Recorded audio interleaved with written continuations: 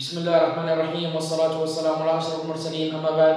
مرحبا بكم تلاميذي الأعزاء في أول درس من سلسلة دروس مادة الرياضيات للسنة الثانية من التعليم الثانوي. لغات أجنبية تسير واقتصاد وأداب وفلسفة. وقبل أن نشرع في بداية هذا الفيديو لا تبخلوا علينا بالاشتراك معنا في القناة ليصلكم كل جديد منا من دروس وتمارين وأيضا مراجعات للفروض والامتحانات. ونبدأ على بركة الله. إذا لدينا الدرس الأول وهو نسبة الجزء من الكل. في المحور الأول النسب المئوية والمؤشرات. إذا لدينا تعريف بسيط لتكن المجموعة المرجعية ذات آن عنصرا يعني عندنا المجموعة الكلية نسموها أ. أ تحتوي على عدة عناصر. هذه العناصر نسميها بالحرف آن. أيضا جزء من المجموعة أ يعني المجموعة الكلية نأخذ منها جزء سميناه أ. أ يحتوي أيضا على أ عنصر.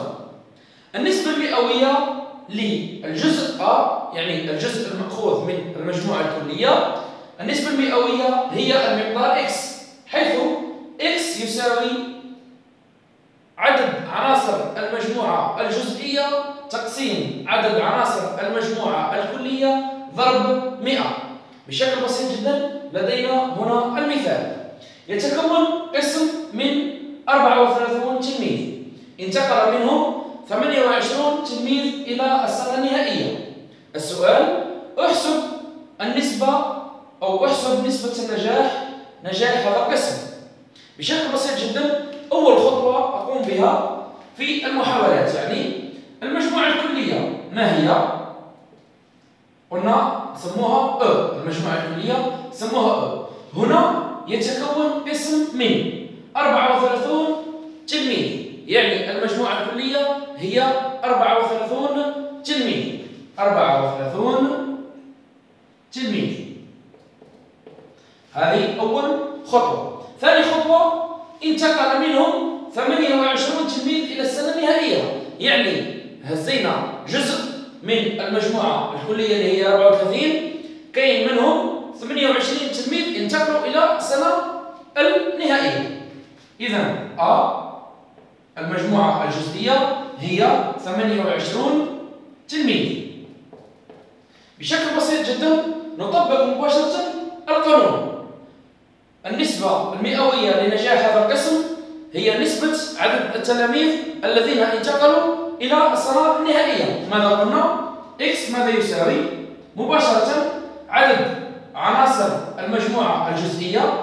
هنا عدد عناصر المجموعة الجزئية هو 28 تلميذ تقسيم عدد عناصر المجموعة الكلية وهو 34 تلميذ هكذا ضرب 100 نقوم بحساب الناتج. نتحصل على 82.35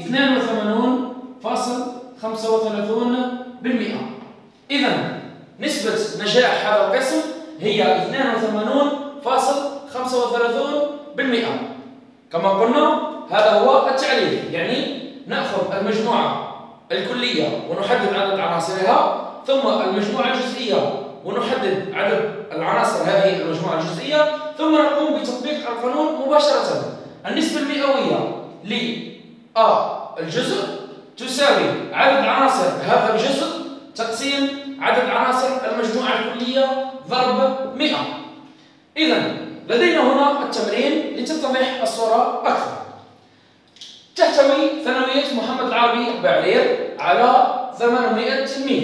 منهم 300 ذكرا يعني ثانوية محمد العربي بعرير تحتوي على 800 تلميذ. يعني المجموعة الكلية هي 800 تلميذ. منهم 300 ذكرا. من المجموعة الكلية خرجنا مجموعة جزئية اللي هي 300 ذكر. السؤال أحسب النسبة المئوية للذكور. السؤال الثاني أحسب النسبة المئوية للإناث. أولا كما قلنا المجموعة الكلية ما هي؟ هي 800 تلميذ المجموعة الجزئية ما هي؟ هي 300 ذكر السؤال ماذا يقول؟ حساب حساب النسبة المئوية للذكور نقطتان. مباشرة نقوم بتطبيق القانون. كما قلنا x ماذا يساوي؟ يساوي عدد عناصر هذه المجموعة الجزئية. ما هي؟ المجموعة الجزئية هي 300 تلميذ أو ذكرا. كما قلنا هنا منهم 300 ذكر. هذه هي المجموعة الجزئية.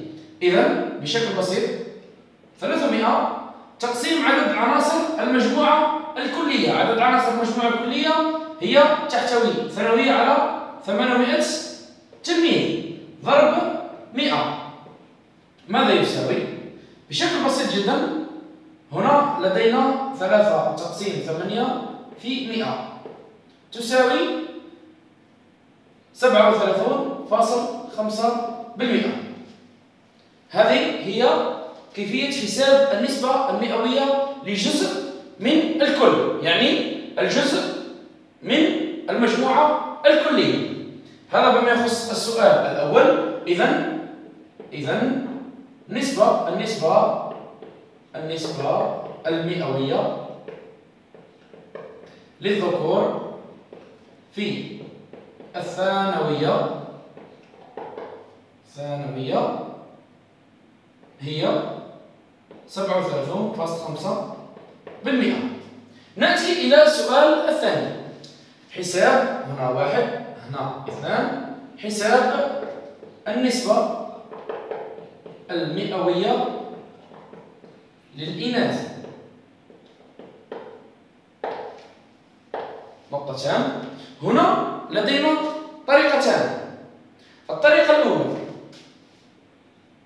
الطريقة الأولى ولدينا الطريقة الثانية. لدينا طريقتان الطريقة الأولى وهي السهلة. نحن قمنا بحساب نسبة الذكور في المؤسسة ككل. نسبة الذكور. وجدناها 37.5 النسبة الكلية ما هي؟ بشكل بسيط جدا هي 100 بالمئة. ناقص نسبة الذكور. 37.5 ماذا يساوي؟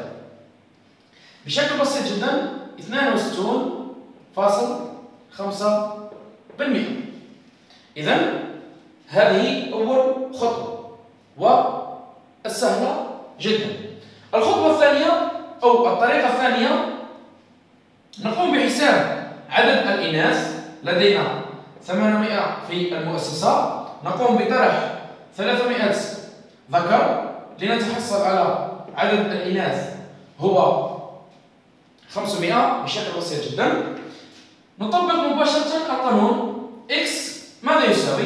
يعني النسبة المئوية للإناث تساوي لدينا المجموعة أو عدد عناصر المجموعة الجزئية وهو عدد الإناث 500 على عدد التلاميذ الإجمالي وهو 800 ضرب 100 لنتحصل في الأخير على 62.5 بالمئة. هذه طريقتين يمكن حساب النسبة المئوية للإناث. وقد كان هذا درسنا لهذا اليوم وهو نسبة الجزء من الكل. يعني مجموعة كلية نأخذ منها مجموعات جزئية. لنقوم بحساب النسبة المئوية لهذا الجزء وهي بتطبيق القانون مباشرة وهو عدد عناصر. هذا الجزء تقسيم عدد عناصر المجموعة الكلية ضرب 100 لنتحصل مباشرة على النسبة المئوية. أتمنى أن أكون قد أفدتكم بالقدر المستطاع تلاميذي الأعزاء. لمن أعجبه الفيديو لا يبخل علينا باللايك. ولمن لديه أي سؤال أو أي استفسار فقط يكتبه لي في التعليقات وسوف أجيبه بإذن الله تعالى. دمتم في رعاية الله وحفظه نلتقي في درس آخر بإذن الله تعالى.